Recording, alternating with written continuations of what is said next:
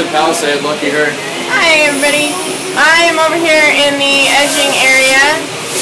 Where I'm at. Um, per Brad's suggestion, LJ had part of this and Greg all had part of this. Um, one, the vacuum table switches, as well as the arm switches, are both now painted according to their light, red, blue, so they're now color coded and they're also labeled so you know which one's the high pressure vacuum and the low one as well as which ones they go to. And there's also a Red Bull up there for Greg going to get us one. So everything's all lined up. Thanks.